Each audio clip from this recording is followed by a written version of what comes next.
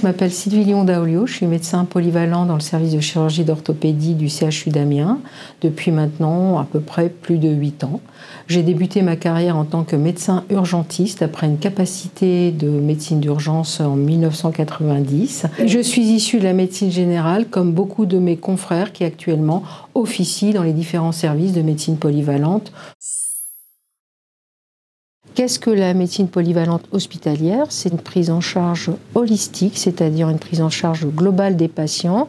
En effet, depuis plusieurs années, pourquoi il y a plus en plus de médecins polyvalents dans les services de chirurgie, des services de spécialité type d'organes, parce que nous avons des patients qui sont polypathologiques, ils sont également polymédicamentés, d'où la nécessité également de l'aide des pharmaciens cliniciens de plus en plus également présents. La médecine polyvalente hospitalière, comme le de plus en plus de publications, est de plus en plus euh, importante du fait de l'hyperspécialisation, de la polypathologie des patients et du manque de médecins spécialistes et également du manque de médecins en général au sein des hôpitaux publics. En premier lieu, ce sont des services qui sont des services post-urgence, c'est-à-dire de patients non programmés, soit en médecine ou en chirurgie. Ces services existent partout en France, que ce soit dans les hôpitaux euh, de proximité, qu'on appelait avant les hôpitaux périphériques, ou dans les CHU. Leur mode d'exercice, ce sont des patients qui n'ont pas de diagnostic euh, précis, euh, ou alors qui vont avoir une hospitalisation de très courte durée. Il en est de même pour la psychiatrie où vous avez besoin de médecins polyvalents au sein de ces services, étant donné qu'il n'y a pas que la composante psychiatrique qui intervient, vous avez aussi la composante polypathologique avec des patients qui sont souvent en polytoxicomanie, que ce soit le tabac, l'alcool ou d'autres drogues.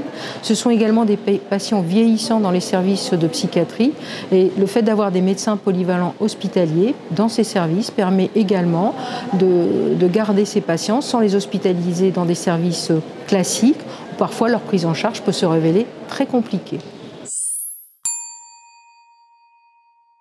Le fait d'avoir des médecins polyvalents permet également parfois de prendre en charge des patients qui n'auront pas d'actes chirurgicaux. De même, euh, les spécialités d'organes commencent à demander des médecins polyvalents hospitaliers du fait toujours de l'hyperspécialité et de la polypathologie des patients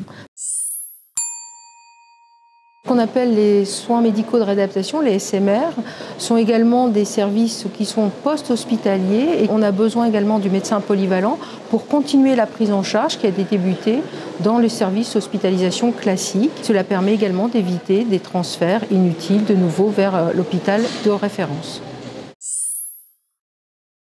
La plus-value, c'est une prise en charge globale, une diminution des morbi-mortalités et puis une diminution du taux de réhospitalisation de nos patients.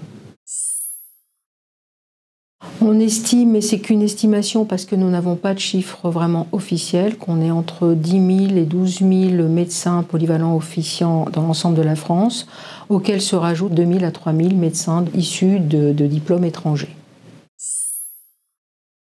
Ce n'est pas une spécialité, mais à leur risque de devenir. Depuis euh, novembre 2022, il y a ce qu'on appelle une FST, une formation spécifique euh, transversale qui permet à des étudiants issus également de la médecine générale de faire une spécification. Ça ne donne pas de spécialité, mais ça donne le droit de pouvoir exercer comme médecin polyvalent par la suite.